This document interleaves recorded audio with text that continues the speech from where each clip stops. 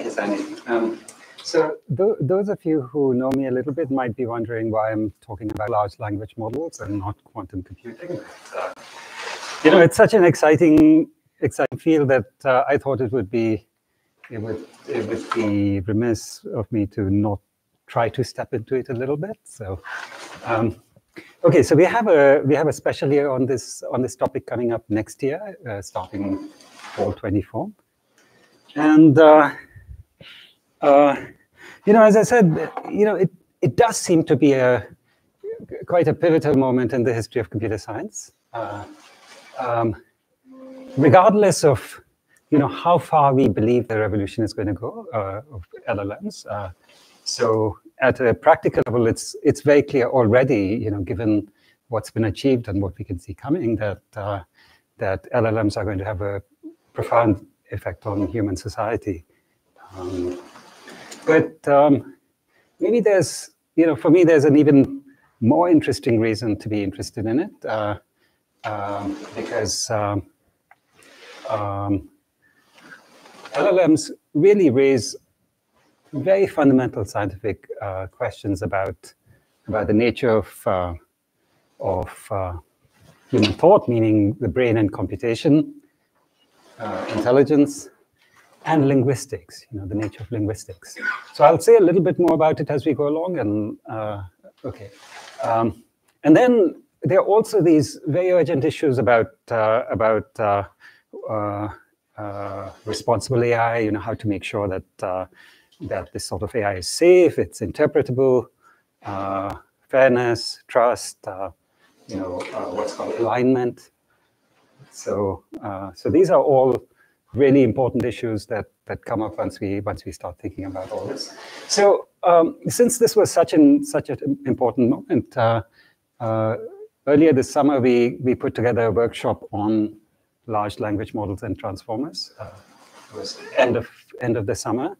It was um, uh, it was uh, very enthusiastically received by numerous communities. You know, of course, the theoretical computer science community, but the machine learning community, and then then there were others that participated. You know, people from physics, from from cognitive science, from uh, uh, from linguistics, neuroscience, um, um, and so just to give you a little bit of a flavor of it, I'll I'll just say uh, a little bit about uh, what happened at this workshop and why why it was so so interesting for people. So um, so. Uh, uh, you know, uh, Yejin Choi uh, spoke about, uh, well, there was this very nice uh, title, Possible Impossibilities and Impossible Possibilities, which, which referred to the fact that, uh, that, you know, we don't yet understand the limits of these models. So, you know, are they, you know, will they go well beyond what, what they do now? You know, are they just stochastic parrots? You know, uh, these, these kinds of questions.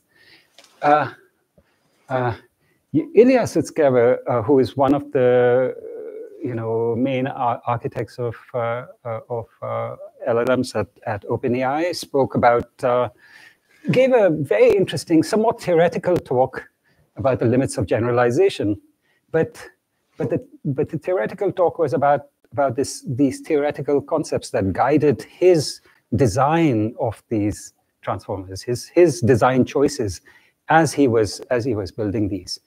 And in the panel afterwards, it was, you know, uh, which which included Yejin, uh, Ilya, etc. You know, it, it it really gave us a sense of, uh, uh, at least on with Ilya, just how sincerely he believed that this was this was going to go far.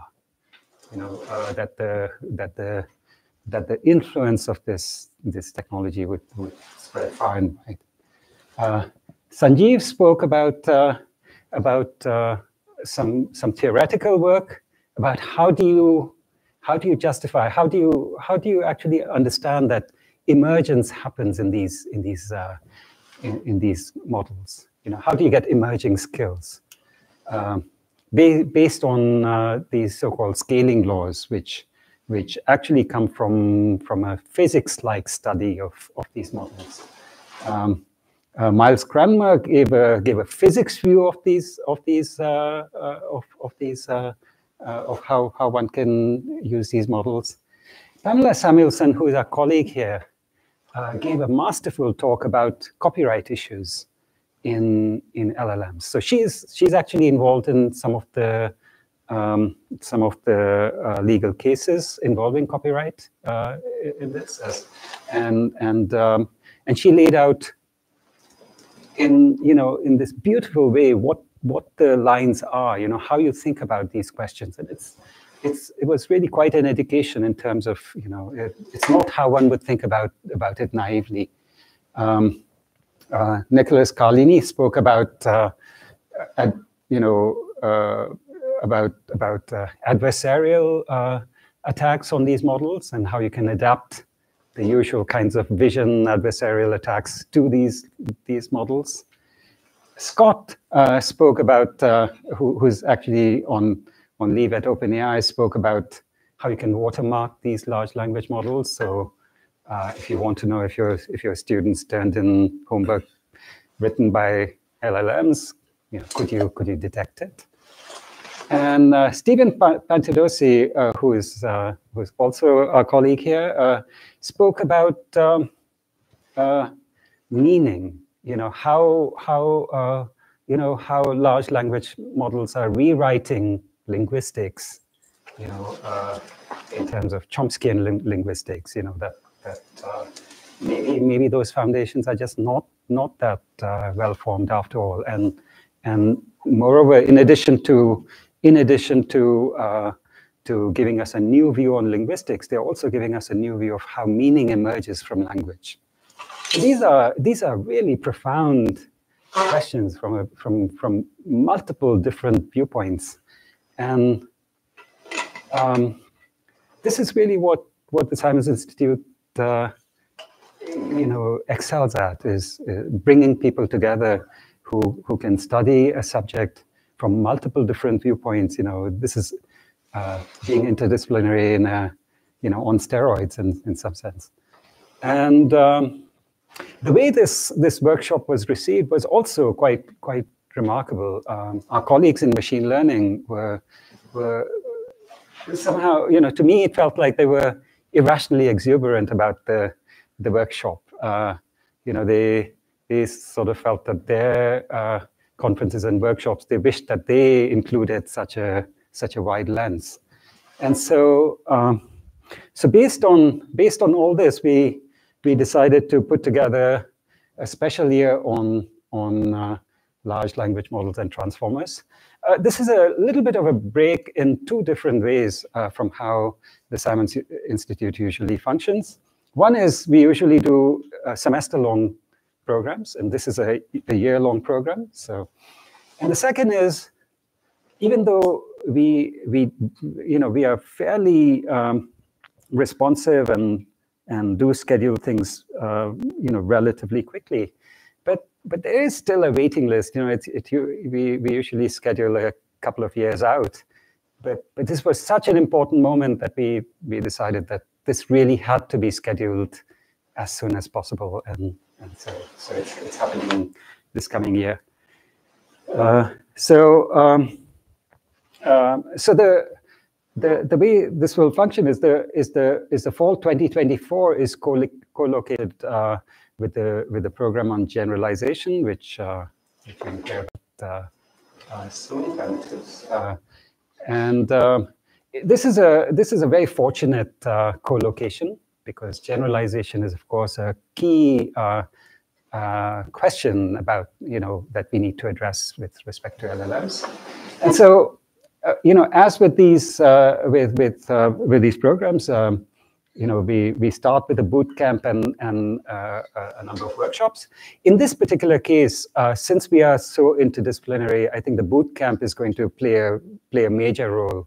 Uh, we, we really hope that, um, you know, some of the basic concepts here, you know, a transformer, people usually, many people think of this as a very complicated concept. It's really a very simple concept if you lay it out properly. And so we are hoping that we are going to going to be able to do this in this boot camp and you know make sure that everybody, not not just the people who are coming to this uh, um, fresh, but also for for for the experts, there's a there's a really clean, clear backdrop that's set up so that so that our discussions can be focused around it.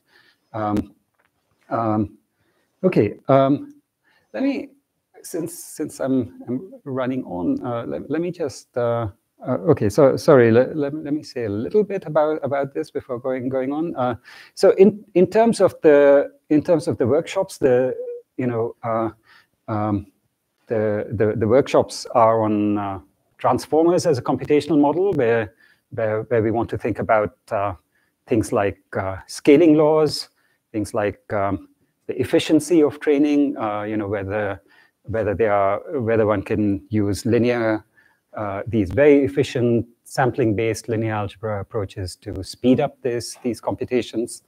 Um, uh, there, there's, there's a workshop on, on trust, alignment, um, copyright issues uh, uh, uh with LLMs. And then in the spring, we have this, we have this workshop on which, which brings in these very foundational questions having to do with the nature of um, you know, the brain and computation. So, and, and, uh, uh, and, and linguistics.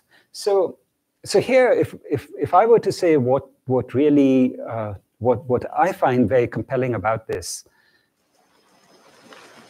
so um, I, I, should make a make make a li little bit of a, of a confession. You know, so th this this wasn't such an out of the blue thing for me. You know, I've dabbled in computational learning theory before, and the question that always interested me was, was, was is there a computational model for the brain? And there were, there were all these beautiful models, you know, random interconnect models uh, of neurons. But eventually, the kind of functionality one they always led to was, was some sort of associative memory. And with LLMs, for the first time, you see how, how you can have a computational model that makes makes sense out of imprecise concepts.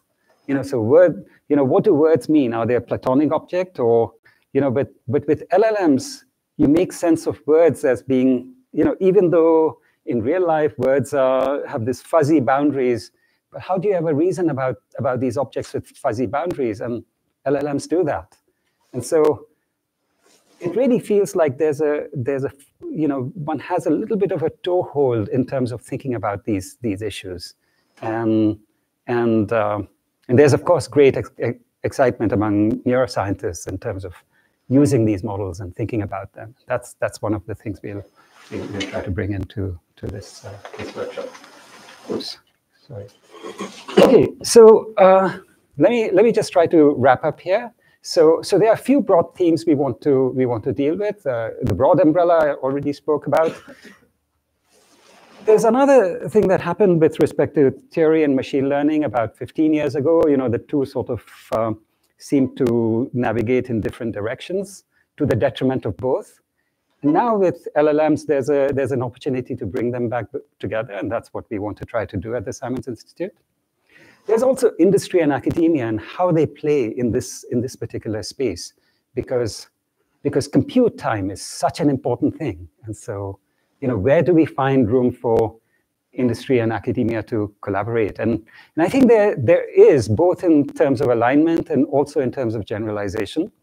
And so what we're going to be doing is, is uh, holding these mini workshops, which are sort of one-day workshops with a certain theme in them for, for them, and the idea is that people like Ilya and others who, who are actually working on these in industry, you know, for whom it would not make sense to come and spend the semester here, it would provide people like that uh, an opportunity to come and engage with us at, at an intense level for a short period of time, you know, and that's that's what we'd, we'd li like to do to make sure that all the things that we are we are doing here are in some sense aligned with what's what's what's actually being built.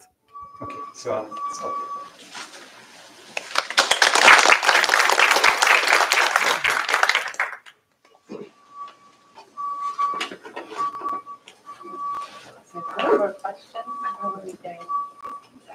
Fifteen seconds for a question. Does anyone have anything?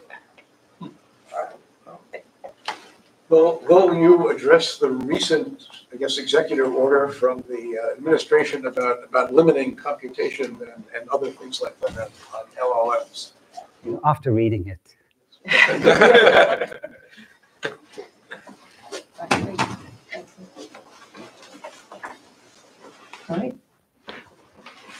Next, we have Hung Ngo, who will tell us about our current program on logic and algorithm.